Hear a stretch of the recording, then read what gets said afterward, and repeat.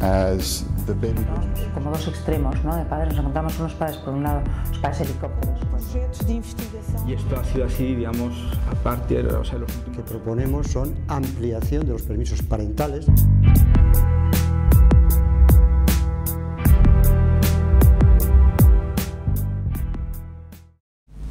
Trabajo en el grupo de delitos contra menores de la Guardia Civil. En este grupo investigamos cualquier delito en el que un menor es víctima y especialmente aquellos que se producen a través de las nuevas tecnologías. Es, en, nuestro trabajo hemos visto que es especialmente importante la prevención en este, grupo, en este tipo de delitos eh, y especialmente esa prevención cuando se realiza en los centros escolares, concienciando a los menores sobre la importancia de que sean cautos con su privacidad en Internet y de que sean también muy prudentes sobre aquellas acciones que, que realizan en Internet.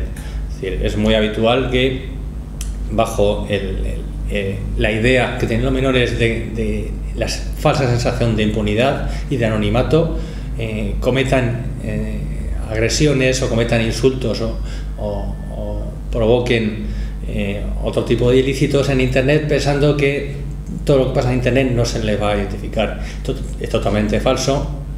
La identificación en Internet es, es, muy, es posible y se realiza habitualmente y por eso eh, nosotros les concienciamos a los menores especialmente que sean prudentes en sus acciones en Internet.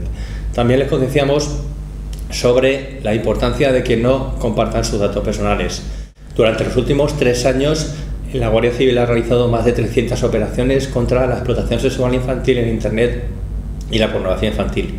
En estas operaciones han detenido más de 300 personas y lo que nos ha demostrado es la alta capacidad de estas personas y la alta capacidad para cometer delitos contra menores.